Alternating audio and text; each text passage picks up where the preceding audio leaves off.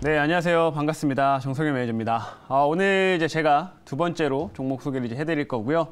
제가 오늘 이제 준비한 한마디는 이 한미 정상회담의 수혜주에 주목하자라는 내용입니다.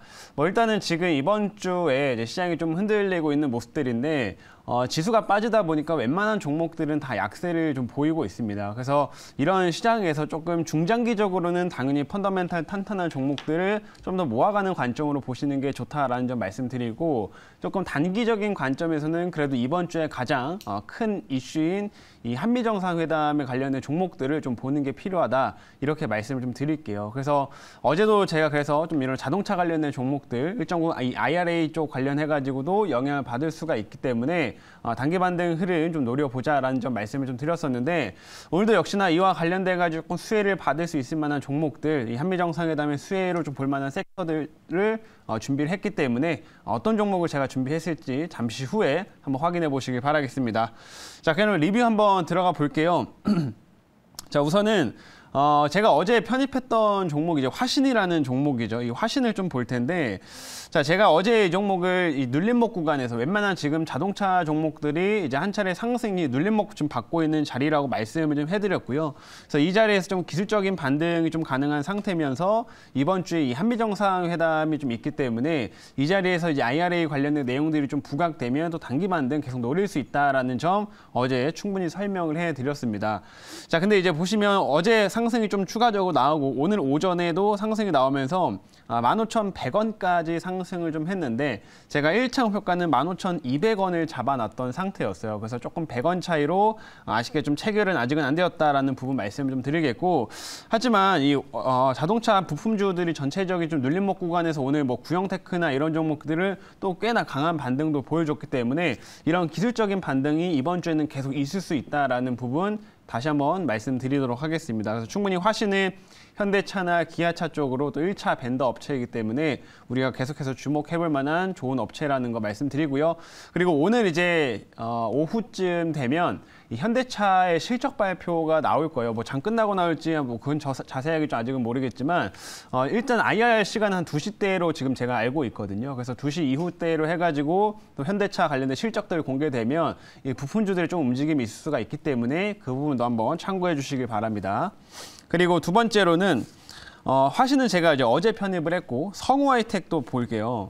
성우 하이텍 같은 경우도 마찬가지로 지금 뭐 화신이랑 거의 자리가 비슷하죠. 이 종목은 제가 이미 이전부터 편입을 해서 이미 수익을 좀 크게 냈던 종목 중 하나인데 어, 지금 이제 역시나 얘도 눌림을 좀 받은 자리에서 기술적인 반등 계속 보여주고 있습니다. 그래서 이번에 만약에 오후에 현대차의 실적이 좀 surprise하게 나왔다. 정말 예상치를 좀 상회하는 숫자가 나와줬다라고 한다면 이 부품주들도 다시 한번 좀 더 강한 반등 이어갈 수가 있기 때문에 이런 화신이나 성우하이텍을 또 계속 관심 있게 지켜보자라는 거 말씀드리도록 하겠고요.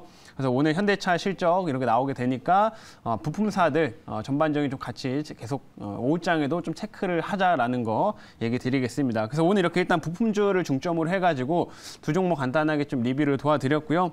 자 이제 오늘 새롭게 어, 이제 편입할 종목을 이제 말씀드려 볼게요. 자 오늘은 제가 이 한미 정상회담의 수혜 또 섹터인 원전 관련된 종목을 좀 준비를 해봤는데 자 현재가 보면 자 현재가는 38,000원입니다. 38,000원이고 종목명은 한전 KPS라고 하는 종목을 준비를 해봤어요. 자, 한전 KPS는 이 원전주들 중에서 비교적 안정성이 굉장히 높은 종목이고 좀 어, 어, 펀더멘탈적인 측면에서도 탄탄하다라고 말씀을 드릴 수가 있습니다. 그래서 최근에 이제 원전주들 좀 움직일 때는 좀 가벼운 종목들도 한 차례 뭐 어, 상승세 좀 크게 나왔던 상태인데 이 종목 같은 경우에는 조금 안정적으로 갈 수 있을 만한 종목이다라고 말씀드리겠고요. 그래서 충분히 단기적인 관점뿐만 아니라 조금 중장기적인 관점에서도 메리트가 큰 업체라는 점을 얘기 드리도록 하겠습니다. 그래서 차트상 지금 흐름을 좀 보시더라도 이렇게 좀 박스권들을 좀 하나씩 좀 뚫으면서 좀 상승을 좀 하고 있는 흐름이기 때문에 어 이제 한미 정상회담 이후로 원전 관련된 뭐 좀 호시 호 재료들이 좀 등장을 하게 되면 좀 추가적인 반등들을 계속 좀 기대해 볼 수 있을 만한 그런 종목이다라는 거 말씀드릴게요. 자, 그럼 이 한전 KPS는 어떤 모멘텀들 좀 보유하고 있을지 제가 준비한 자료 보면서 말씀드리도록 하겠습니다. 자, 자료 볼게요. 자, 오늘의 종목은 한전 KPS고요. 어, 한전 KPS는 전력 설비 정비 사업을 하고 있는 업체입니다. 그래서 어, 이런 전반적인 유지 관리 쪽을 담당을 하고 있다. 그리고 시스템 쪽 관련된 어, 담당을 좀 하고 있다라고 이제 보시면 되고요. 그래서 원자력 발전소, 뭐 화력 발전소, 수력 발전소 이런 전반적인 전력 설비 그 사업들에서 어, 전반적인 이런 시스템들을 다 담당하고 있는 업체라고 이제 보시면 될 것 같습니다. 그래서 이 업체는 이 유지 관리를 좀 하는 쪽이다 보니까 이 실적 측면에서 굉장히 안정적인 실적이 나온다라는 부분. 왜냐하면 꾸준하게 유지 관리하면서 일정 부분 그 돈을 계속 받기 때문에 안정적인 실적을 좀 가지고서 갈 수 있을 만한 그런 원전주가 된다 이렇게 말씀드려 보도록 하겠습니다. 자, 다음 볼게요.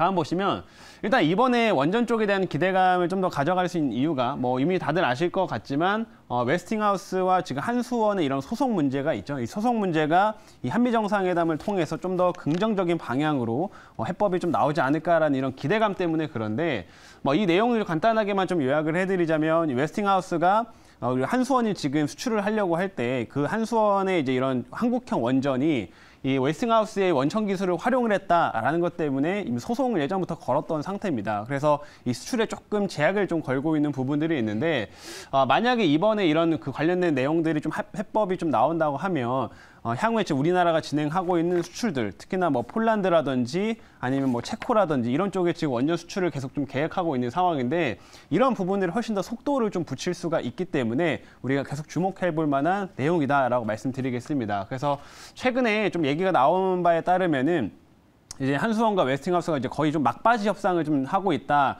라고 알려진 상태고요. 그래서 한수원이 일정 부분 웨스팅하우스의 지분을 어, 인정을 해주는 대신 이 수출을 좀 지원해주는 방향, 방향으로 어, 간다라고 얘기가 나오고 있습니다. 그래서 아직 최종적으로 합의가 된 건 아니긴 하지만 이 한미 정상회담에서 이런 소식들이 나올 수가 있기 때문에 우리가 계속해서 좀 관심을 두자. 그리고 좀 더 지금은 어, 이전에 이제 좀 중성 종목들이 이제 많이 움직였기 때문에 좀 더 탄탄한 실제로 사업적인 측면에서 수혜를 가져갈 수 있을 만한 종목도 지금 좀 다시 보자 이렇게 말씀드리도록 하겠습니다. 자, 다음 이제 봐볼게요. 다음 보시면 어제 또 폴란드 쪽에서 하나의 얘기가 좀 나왔는데 지금 한국형 원전 도입 본계약을 이제 언제든지 체결 가능할 수 있다라고 이 폴란드 측에서 얘기를 좀 했습니다. 어, 사실 우리나라 이제 한수원하고 폴란드하고 지난해 10월 달에 어느 정도 이제 계약을 맺은 상태예요. 그래서 이제 수출을 좀 하려고 준비를 하고 있던 상태인데 어, 아직 이제 이 본계약까지는 가지 않았습니다. 그래서 이 본계약 수준은 지금 어느 정도 준비가 되어 있다라고 이제 폴란드 쪽에서 계속 얘기를 좀 하고 있는 상태고요. 지금 폴란드 쪽의 좀 계획으로는 이 원전을 한 두 기 정도를 지으려고 하는데 사실 이게 숫자로 보면은 뭐 두 기 정도 짓는다고 해서 뭐 돈이 되겠냐라고 하실 수가 있습니다. 근데 보통 원전 수출을 할 때 그 한 기 수출을 할 때가 이게 조 단위 규모이기 때문에 어 이제 이 두 기만 수출을 한다고 하더라도 규모가 어마어마하게 좀 크다 이 부분은 좀 보시면 될 것 같아요. 그래서 만약에 이번에 아까 앞에서 말씀드린 것처럼 웨스팅하우스가 조금 얻은 합의점을 좀 찾게 된다고 하면 훨씬 이런 수출 쪽에 대한 속도를 높일 수가 있기 때문에 그리고 실제로 폴란드에서도 빨리 본계약을 좀 하자라는 식의 얘기를 하고 있기 때문에 어, 우리가 관련된 기대감들 계속 이어가 볼 수 있다라는 점 말씀을 드려보도록 하겠습니다. 그래서 이런 내용들이 계속 나오고 있다라는 점 참고를 해주시고 마지막 화면 보겠습니다. 마지막 보시면 어, 아까 말씀드린 것처럼 최근에 중성 종목들은 좀 탄력적으로 움직이긴 했지만 이 한정 KPS 같은 경우는 조금 더 안정적으로 갈 수 있다라고 얘기 드렸죠. 그래서 보시면은 이익이 뭐 지금 원전 같은 경우는 이제 들락날락하는 업체들 되게 많은 상황인데 어, 이 업체는 꾸준하게 이제 유지 관리를 하다 보니까 뭐 1,300억 그다음에 올해 추정치가 한 1,500억 정도 되면서 영업이익이 안정적으로 찍히는 업체라고 이제 보시면 됩니다. 그래서 전반적인 섹터 흐름을 좀 타면서도 안정적으로 가져갈 수 있는 종목이기 때문에 조금 뭐 뭐 중대형 종목들 투자하시는 걸 선호하시는 분이라면 이런 종목도 다시 한번 좀 주목하자라는 거 얘기 드려보도록 하겠습니다. 자, 그럼 여기까지 말씀을 좀 드렸고요. 어, 질문 한번 받아보도록 할게요.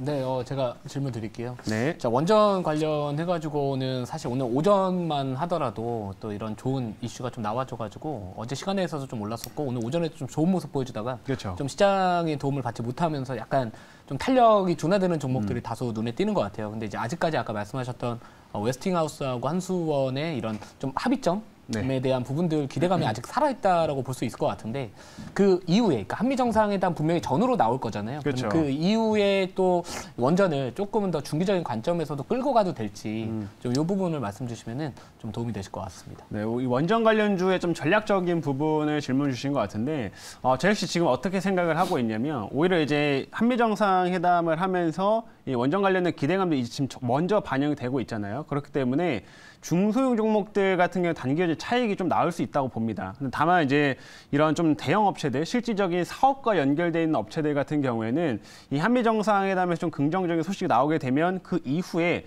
어, 오히려 더 강할 수 있다라고 생각이 들어요. 뭐 두산 에너빌리티라든지 뭐 아니면 한정 기술이라든지 한정 KPS 같은 이런 종목들.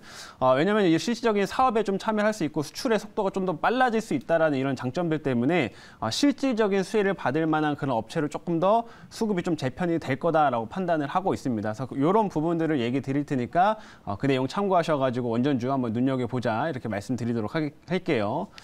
자, 그럼 이제 가격 전략을 바로 제시 드리겠습니다. 제가 1차 목표가는 4만 500원, 그 다음에 2차 목표가는 어, 4만 4,100원이고요. 그 다음에 손절가는 3만 2,400원으로 제시를 해보도록 할게요.